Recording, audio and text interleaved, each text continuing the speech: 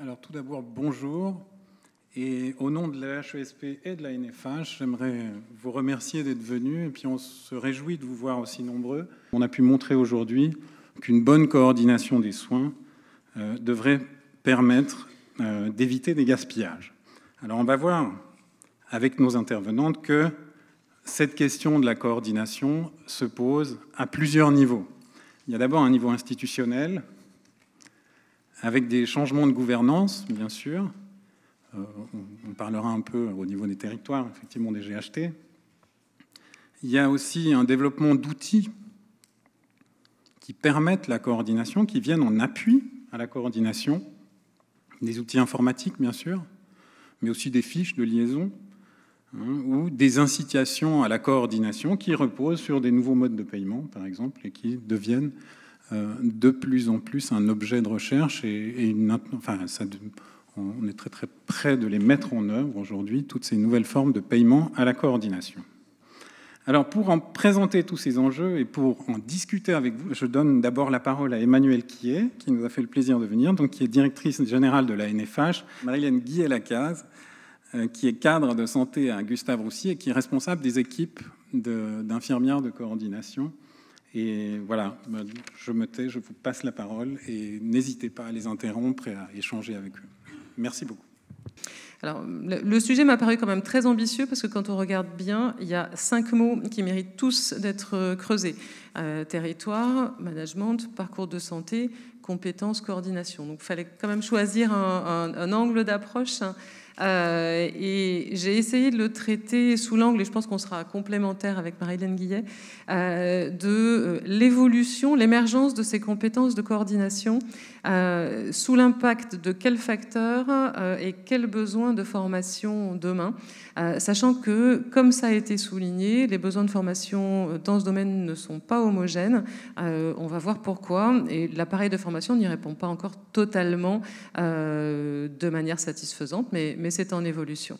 Alors, la coordination, en résumant vraiment, hein, euh, est définie avant tout par les professionnels comme une mise en relation. La mise en relation de différents acteurs, pas forcément bien sûr euh, dans les mêmes institutions, pas forcément au même endroit, autour d'un objectif euh, et d'un sujet commun. L'objectif, selon les professionnels qu'on a pu interroger, c'est d'apporter de la transversalité, c'est d'harmoniser les pratiques pour optimiser les organisations, et on revient euh, à l'élément euh, économique hein, qui, était, euh, qui était souligné par Mathias Velli, optimiser les process et au final optimiser les, ressources et les coûts. Mais tout de suite, les professionnels nous disent, nous on estime qu'on peut distinguer deux types de coordination.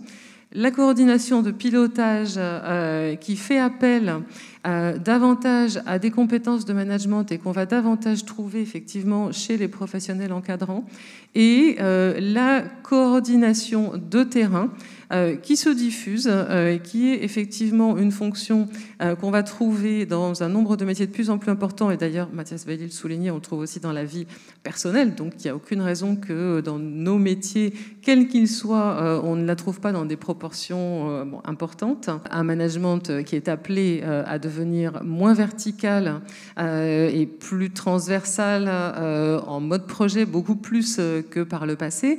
Et ça, bien entendu, ça sollicite le management pour développer des compétences de coordination qui peuvent effectivement être, être nouvelles. En repartant de ça, le problème de la coordination à Gustave Roussy est, arrivé il y a 14 ans. Donc on n'était pas du tout sur les nouveaux métiers, pas du tout dans cette idée que la coordination était particulièrement importante. On voulait juste faire en sorte de prendre en charge les patients euh, de façon optimum. Donc, au, fur et à mesure de ces 14 ans, la, coordination a émergé d'elle-même et, avec toutes ces problématiques, et on a dû s'adapter au fait que, bah oui, on ne savait pas forcément la faire. Euh, euh, l'hôpital, l'institut n'était pas forcément prêt à travailler comme ça. le reste n'était pas forcément prêt à travailler comme ça en ville. Donc en 14 années, on, on a beaucoup évolué et je vais vous montrer quelques exemples. Ensuite, il y a euh, la coordination de terrain versus la coordination de pilotage, euh, comme disait euh, Madame Quillet, c'est que Bien, bien évidemment que c'est deux choses très différentes et qu'il faut trouver la limite des deux. Parce que quand on a besoin de passer sur un pilotage fin, il faut quand même des gens qui sachent faire du projet, qui savent le suivre, qui savent travailler en méthode projet. Et quand on veut faire de la coordination de terrain, de temps en temps, il faut savoir arrêter le projet et euh, faire du pratico-pratique et être très pragmatique. Et donc, les gens qui sont dédiés à la coordination sont effectivement toujours entre ces deux limites, à où je m'arrête moi, où je fais travailler les autres et où je reprends la main moi. Ça, dans, dans les outils, c'est pareil. Les outils, aujourd'hui, ça permet la coordination, mais c'est surtout que ça l'aide. Ça ne la remplacera pas. C'est-à-dire que les outils doivent être adaptés à la cellule de coordination et au, volume de patients qu'on a. Si on fait un outil juste pour l'outil, il, ne survivra pas seul. Il n'est pas capable de survivre. Il faut vraiment avoir des gens qui sachent l'utiliser et qui l'utilisent de façon pragmatique.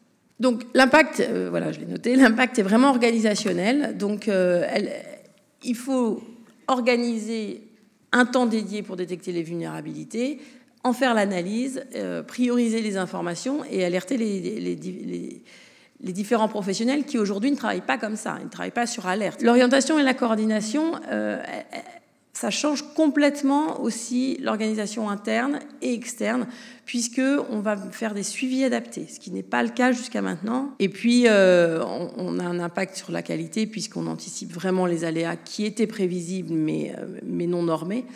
Et puis, euh, une meilleure gestion quand même des, des complications pour éviter les ruptures de parcours.